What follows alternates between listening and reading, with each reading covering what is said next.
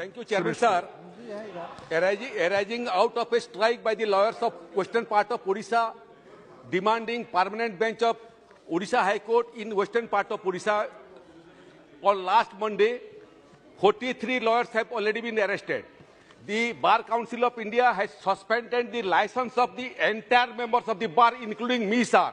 There is an unpleasant situation, tense situation, and the court work has collapsed.